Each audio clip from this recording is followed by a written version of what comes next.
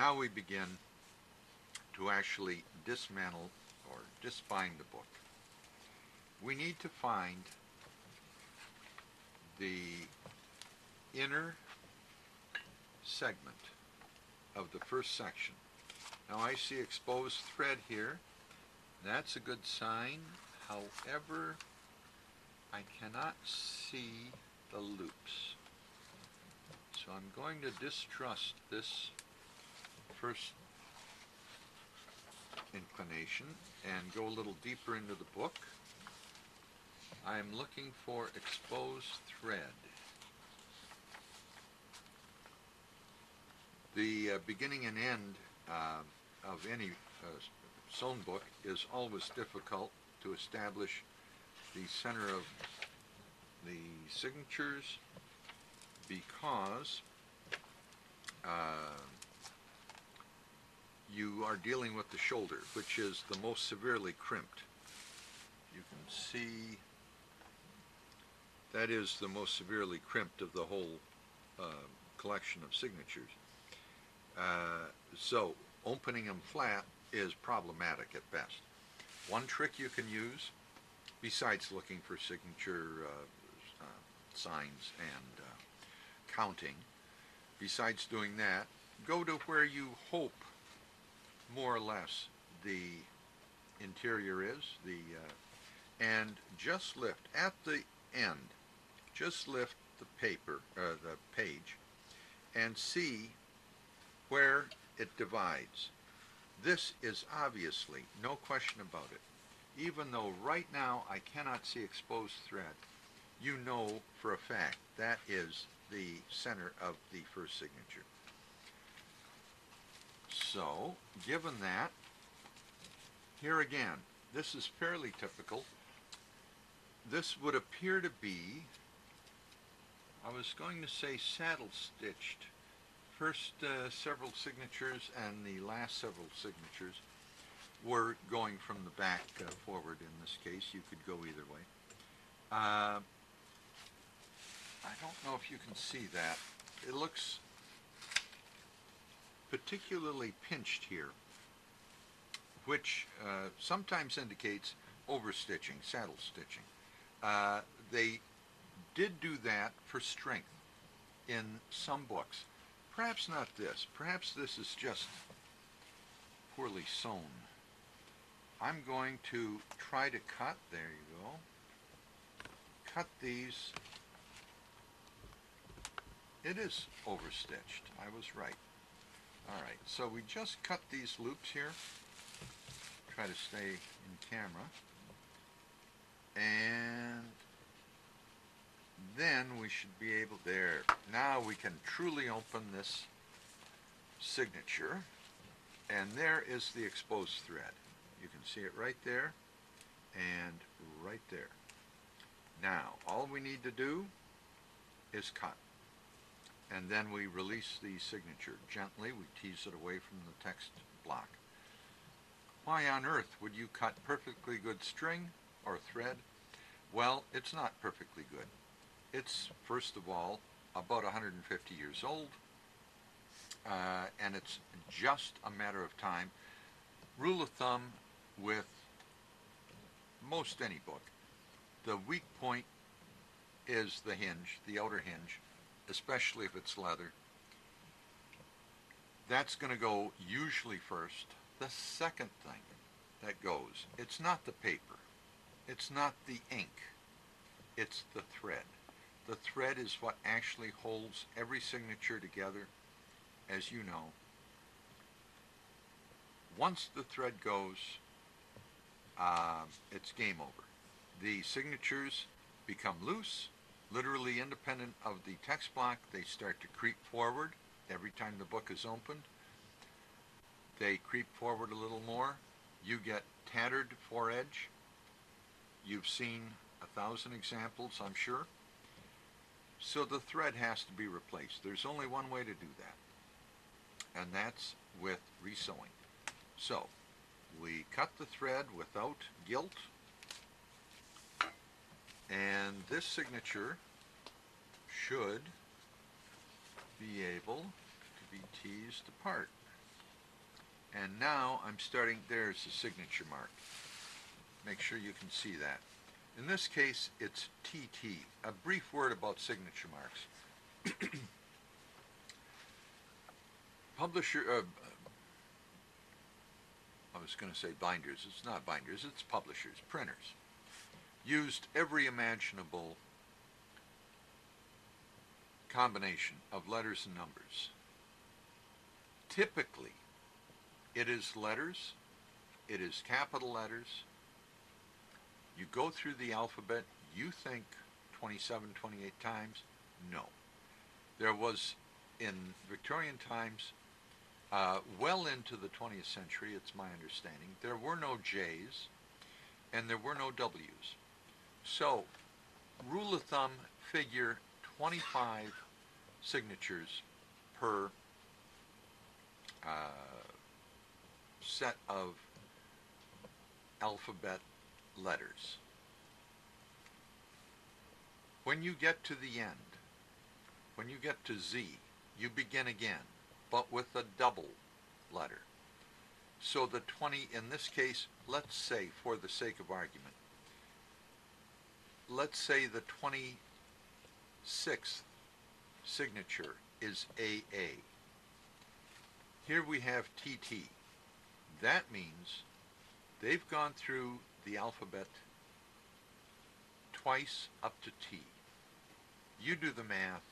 I'm guessing 40, 45, give or take, uh, signatures. That's important when you're assessing a book. You need to know how many signatures you're going to be dealing with. That's a very important factor for trying to guesstimate how long this job is going to take you. You go to the end of the book, you look for a signature mark. You see TT, and also based on just a, a brief glimpse of uh, these signature ends, that looks about right. That looks to be 35 to 40 signatures. So then you have a more realistic basis by which to assess the cost, the number of hours it's going to take. Now, as you see, I am teasing this away. This is not, in fact, the last signature. It turns out to be the second to the last. We apply as little pressure off the spine as possible to prevent uh, or to assist minimum wear and tear on the edge of the last sheet in a signature. Now we clean this off of all obvious and apparent paste residue. To assess this, this, there is a signature. That's TT signature of this book. Pages 641 to 656. To assess the signature per se and its competence to withstand another rebinding, we take the outer leaf and if there's any doubt in our mind, we hold it up to the light and look for any severe wear spots or, in fact, tears. I would adjudge this particular piece to be substantial enough to withstand another uh, binding, rebacking, without the necessity for tissue repair. If there were severe, uh, if there was severe compromising, if there, if half of it was separated or uh, for any reason, uh, the re- the way you would um, do that, I'm sure we'll run across examples later somewhere in this book, and we'll show you uh, tissue repair. Uh, actually, it's tissue reinforcement usually because repair would represent two separate pages. Normally, it would be reinforcement. So, I'm saying that is good enough and clean enough. That can be resewn. Nothing else need be done with this. Some purists insist on pressing everything flat and clean and beginning again, right from scratch. The problem with that is, you then, after you sew it, you then have to reback it and try to achieve more or less the same curve of spine. If you don't, the foredge is going to be ragged in the book, as opposed to an originally clean foredge. That's almost imp- impossible to do, certainly problematic. If you don't do anything to a signature, if you don't have to, once you've disbound it and cleaned it, just set it aside in order, in strict order. When you resew it, that curve will fit in the next, it will be juxtaposed as it normally would have been originally, and you will reachieve the original curve, therefore reachieving the original smoothness of foredge. That's a nice, nice thing to be able to do. And it's also the quickest and easiest. Added advantage. Now we're just going to do a couple more signatures. We will see. There's the oversewing. They did that. I've already cut the uh, threads, of course, but they did this uh, saddle stitching, uh, going through the each page as opposed to going through the fold. Uh, they did that for extra substance at the beginning and end of uh, books. Typically, I, it's not unusual. Many books don't have that. Uh, at any rate, this is easily overcome. It only affects typically the first couple of uh, signatures. Uh, you just it's just a matter of cutting the threads and then uh, dealing with them. Once they're cut, they're not, not a problem. Now here's the actual last signature. Normally in this book, this book was, I'll, I'll say two loops. Uh, there's other ways of describing it, but you may have noticed in the previous signature, the second signature we disbound, uh, the second in the in the second from the end. This is the last uh, signature at the end of the book. The second from the last only had two loops of thread. You will find that throughout the book. The book itself is going to be basically two loops that will have to be cut in every signature. Now, this is the very last signature, and this is very typical of, of uh, 19th century binding. This has complete loops. I mean, literally from top to bottom. Again, they did this for added uh, strength, for added uh, tensile strength. Uh, because the first and last signatures, of course, get the main wear, or so it was believed at that uh, time. So we simply, again, cut the thread and tease it. Make sure you're teasing the signature. There is UU following TT, so we know for a fact that is the last signature. And we simply, once the threads are cut, we simply if there's any any problem at all, we cut. We don't ask questions because you do not want to tear the paper if you don't absolutely positively have to. Now we clean a little of the excess off. It's actually not too bad. This would be described, this uh, marble piece would technically be described as the rear flyleaf as opposed to its match, the rear paste down. The rear paste down will remain on the original board. We've already made a flap for it uh, and ultimately it will be joined and there will be a piece of probably beige uh, restoration paper uh, where the uh, gap appears on the inner hinge of the rear and the front, too, for that matter. Um, it's not going to be perfect, it's not going to be seamless, but it'll be more or less aesthetically acceptable.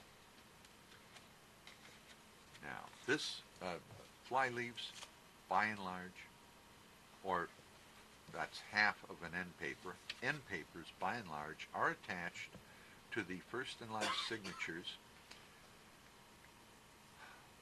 by tipping on with adhesive only, which is to say a tiny bead of adhesive was originally applied to the folded end paper and it was applied and that's what held it on and that's it. It's amazing this uh, flyleaf held onto this over all these years with all the wear and tear as well as it has because it was just a tiny bead of adhesive uh, hold, holding it together. Now, make sure there's absolutely no undue residue here of the original adhesive and that is ready when the time comes to be reattached to its brother or sister as it were, its sibling, uh, in the final stages of the rebinding. Now here's the very last signature. Again, we want to make sure all the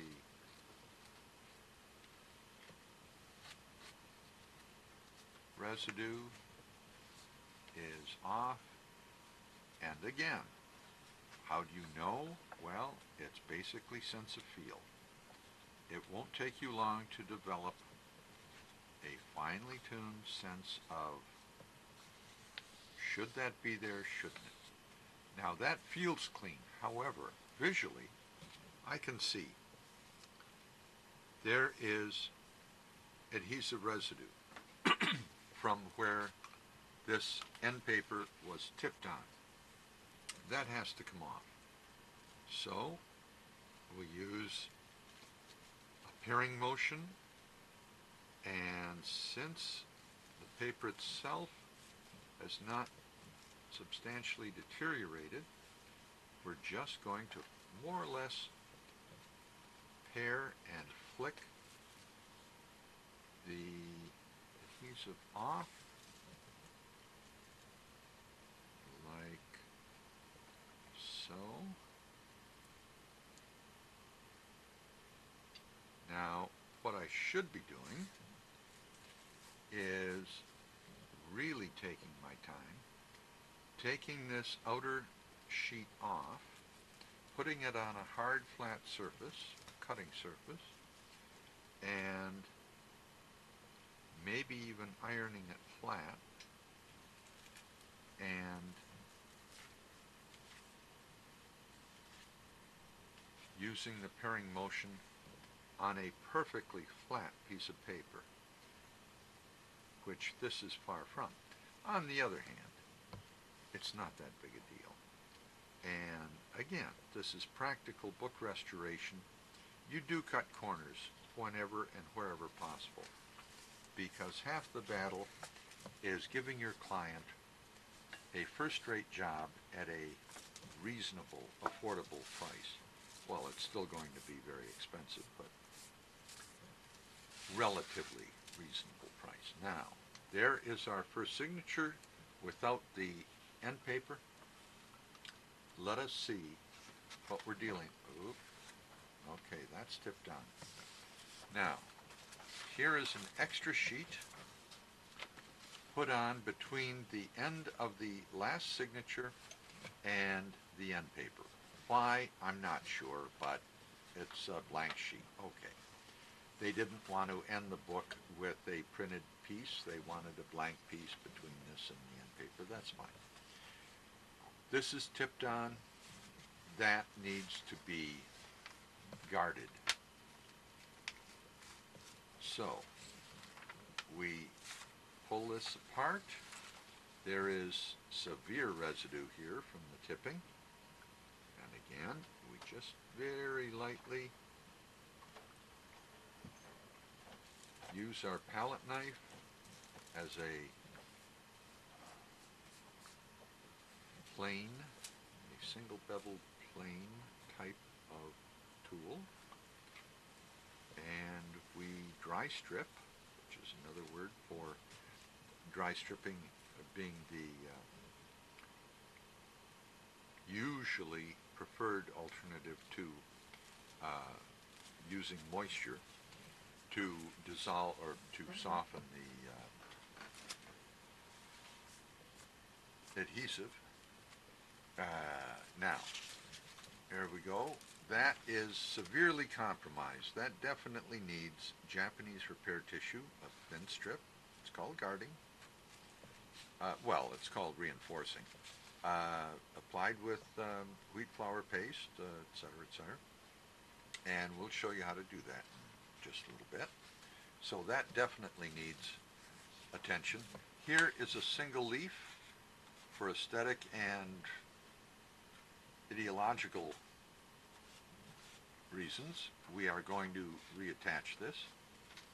However, instead of just tipping it on with a tiny bead of adhesive, we're going to do it properly. We're going to guard it. Guarding involves a strip of uh, paper or tissue, uh, long fibered, uh, acid free of course. I use a standard uh, three quarter inch. It there's really no rule on it. I found three quarter inch being more or less universal. Half of the three quarter inch piece of, in this case, heavy tissue. It'll be opaque, but it doesn't matter because you don't have to read any text or anything through it. Uh, half of the strip will be attached to this, uh, would be this side, the underside, where the original adhesive occurred. And the other half will be attached to, uh, will be wrapped around and attached to the uh, adjoining signature. Therefore, when you open the book, this will be reinforced, but also this next page will be independent of, it'll open flat, it'll be independent of the end paper, it'll be independent of the signature, the, the uh, adjoining signature. And that's the best uh, you could hope for. Now, what I'm going to do is one more signature. We'll review. Make sure there's no undue adhesive residue here. Uh, we're going to review one more time and then we're going to cut to the next stage because from now on it's going to be very repetitive.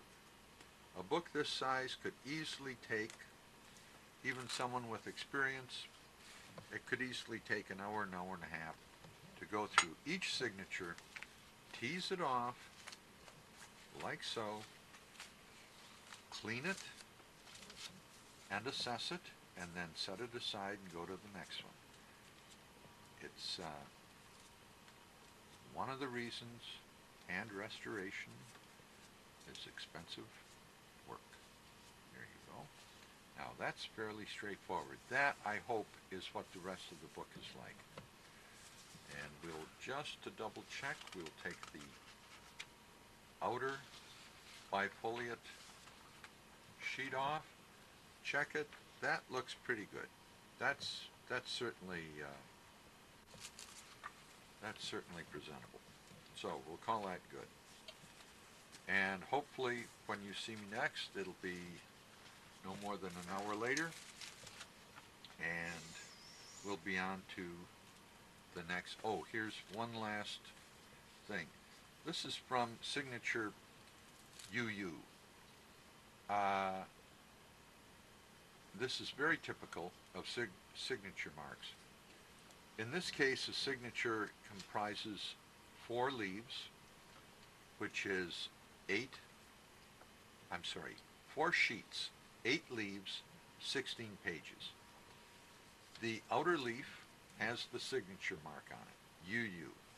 This is the second page in. It says UU2. That's very typical. It's for, again, for binding purposes to make sure there's no mess ups, that everything is in its rightful place. Uh, disregard it per se. On the other hand, if you're ever at a loss, there are times when you don't have page numbers or various weirdness happens. And you may be at a loss as to where this actually should be in a book. It happens. Uh, if you have a secondary signature mark, that could well help in your placement.